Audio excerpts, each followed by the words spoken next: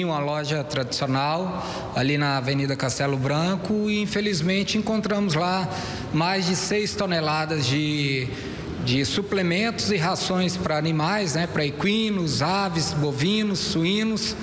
E foi a maior apreensão até hoje do registrado Procon Goiânia. O ano passado a gente já tinha batido um, um alto índice de 4 toneladas numa, numa fábrica de tinta, numa loja de tinta, e agora tem esse valor alto aí nessa casa agropecuária.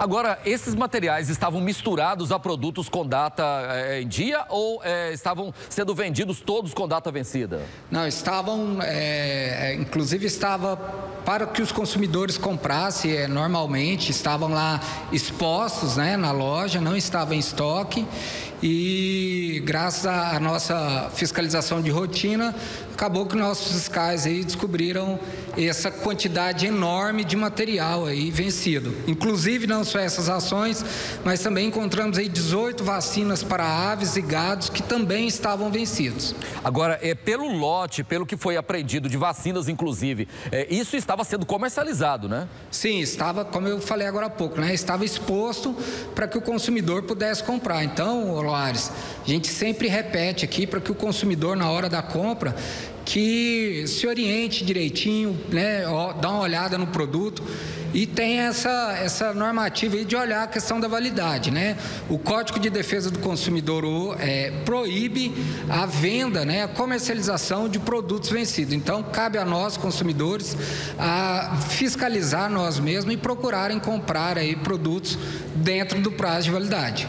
Agora, o que, que acontece agora com essa empresa é, que fica numa região onde tem muitas lojas do ramo? Sim, Olares, ele, eles primeiro são obrigados a contratar uma empresa para fazer o descarte correto desse material e eles vão ser é, multados né, com uma multa que pode chegar a um valor aí de 10 milhões de reais.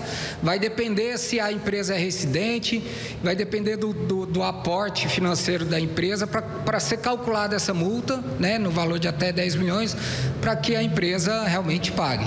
Agora, pelo, uh, quando a gente fala 6 toneladas, 6 mil quilos, isso quer dizer ração, quer dizer é, o, que, que tipo de... Suplemento animal, né?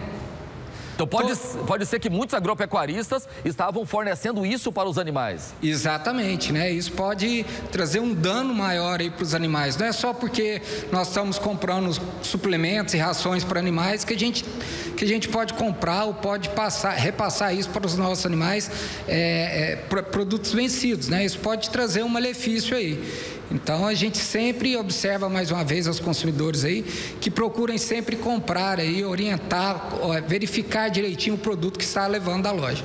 Inclusive, quer dizer, o camarada, o agropecuarista, compra uma, uma, uma, ração, compra um insumo, um suplemento desse, vai lá, dá para os animais, fornece para os animais, isso pode matar os animais porque já está vencido, isso pode, né, dependendo do prazo de validade, ter uma outra reação aí no organismo desses animais e pode ter um prejuízo grande. Então, o alerta, é, Gustavo, é olhar a data de validade é, em tudo, né, inclusive nesses produtos que a gente às vezes nem presta atenção, né? Exatamente. E era isso que estava ocorrendo lá lá na loja, né? Estava passando por despercebido.